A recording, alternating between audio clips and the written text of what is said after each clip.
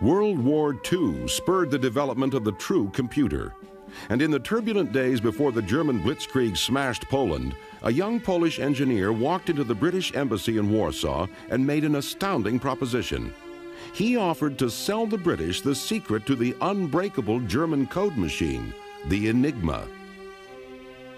The British desperately wanted to crack the Enigma machine, used by German commanders to encrypt their most secret military radio messages. Radio is a wonderful piece of technology, but the very uh, beauty of radio, the fact that you broadcast messages out, makes it very uh, bad for military traffic because the enemy can read your messages as well as the person you intended uh, to read. So uh, you encrypt the message. British intelligence supplied the engineer with a fake diplomatic passport and smuggled him out of Warsaw. While guarded by French agents in Paris, the engineer provided details on the code machine's ingenious operation.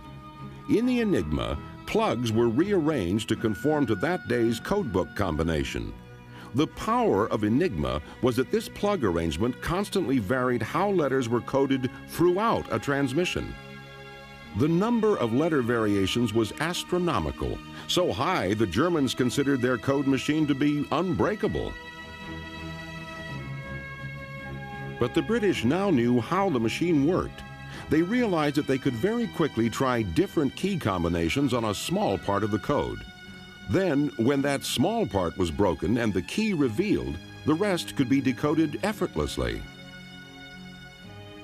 North of London, at a secret installation in Bletchley Park, British codebreakers built a computer-like machine to do just that, Colossus. Colossus used over 2,000 vacuum tubes to process 25,000 characters per second.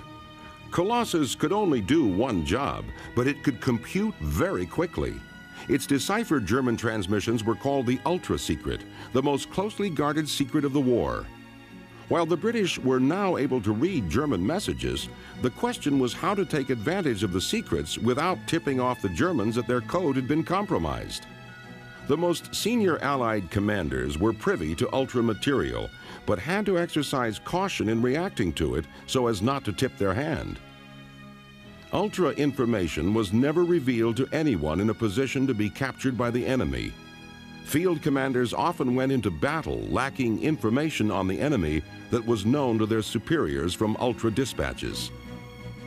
This secrecy may have also kept Colossus from prominence in the history of computers. While Colossus was breaking German codes, across the Atlantic another computational device was under construction. The machine which would directly influence the design of all future computers was being built in Philadelphia.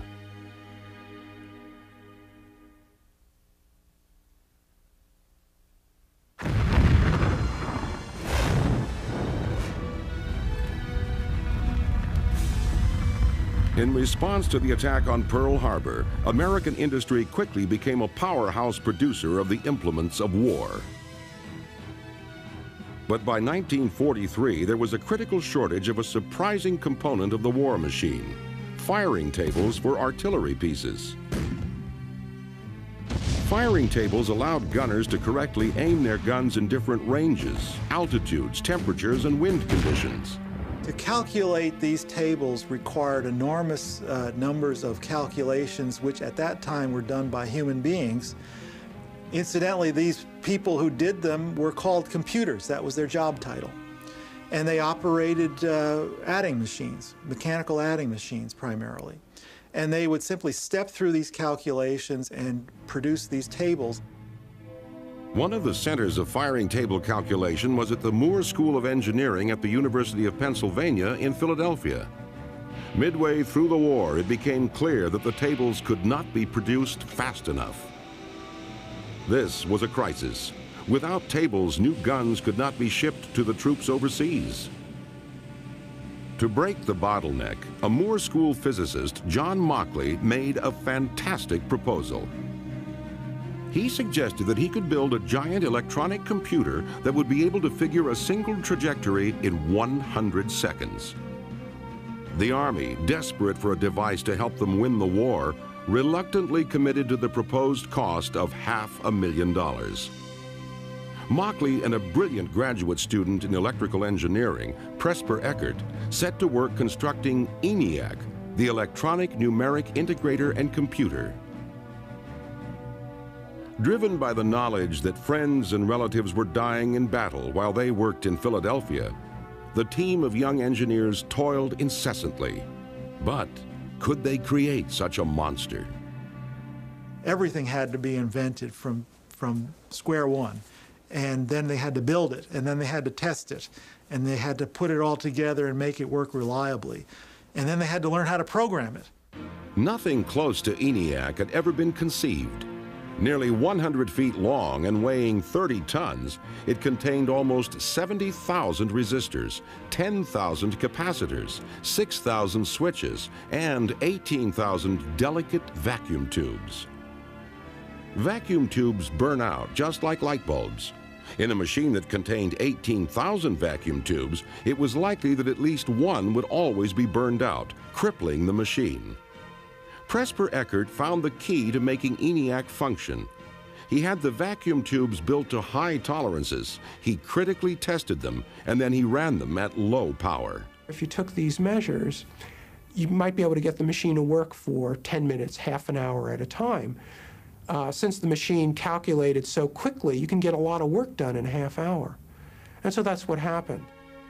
After two years of intense work, ENIAC was complete a few months after the Japanese surrender. Although it wasn't finished in time to help win the war, ENIAC was a marvelous machine.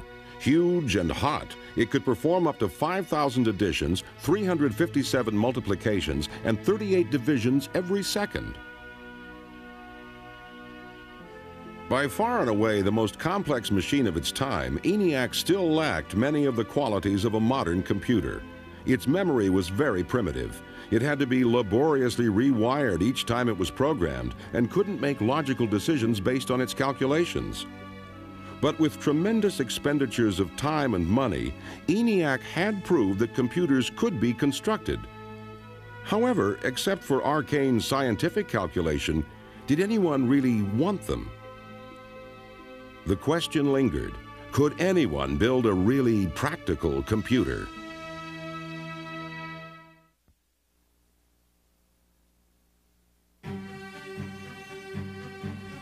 Just before the end of the Second World War, an advisor to the ENIAC project, John von Neumann, wrote a paper that was to greatly affect the next stage of computer design. Von Neumann possessed a photographic memory, an incomparably fast mind, and was one of the principal scientists involved in the Manhattan Project, the building of the atomic bomb. He was also an advisor on ENIAC, the paper von Neumann wrote after the war delineated the structure of a modern computer. The paper drew heavily on the work building the ENIAC, yet was undeniably augmented by von Neumann's brilliance. Von Neumann's computer was to have a processing unit, a controlling unit, memory, input, and output.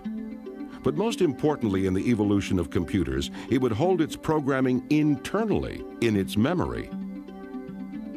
Internally held programs give computers their power and versatility because an internal program can modify what it does based on data or the results of computations. In machines like the ENIAC, programming had been hardwired or fixed, so the machine was much less adaptable. The idea for storing the program internally was the last key to developing the true computer. But whether it was von Neumann's idea has long been hotly debated. Eckert and Mauchly claimed they formulated internal programs as a natural part of their work building ENIAC, although they couldn't stop and incorporate the idea into the machine. But many who read the paper assumed that all the genius behind it was from the great von Neumann. He was one of the most widely regarded mathematicians in the world. Eckert and Mauchly were relatively obscure. Eckert was a young man just out of school. Mauchly had been a professor at a fairly out of the way college.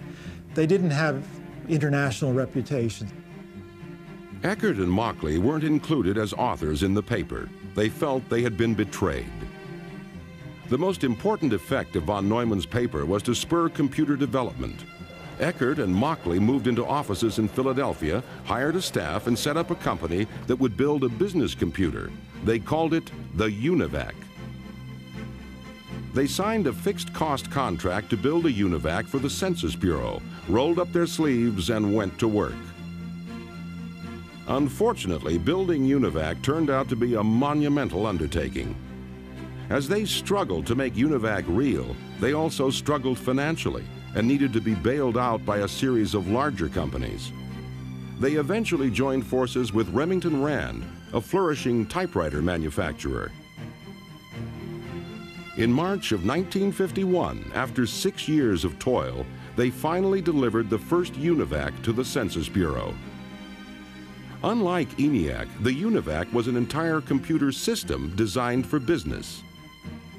UNIVAC could be programmed for a variety of data processing tasks.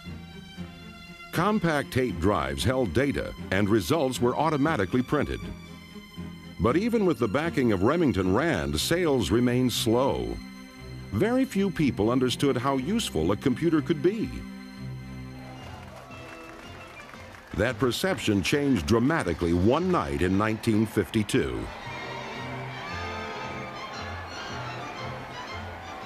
In a brilliant public relations move, Remington Rand arranged with CBS to use a UNIVAC on election night to predict the outcome of the presidential race between Dwight Eisenhower and Adlai Stevenson. Polls said the race was too close to call. No one had ever programmed a computer to make electoral predictions. Eckert and Mauchly's engineers entered their customized algorithms right until airtime. The operators fed in the results of selected eastern precincts and at 9 p.m. ran their program. UNIVAC predicted a landslide for Eisenhower, but the polls said differently. The operators didn't believe what UNIVAC was telling them and assumed their programming was at fault.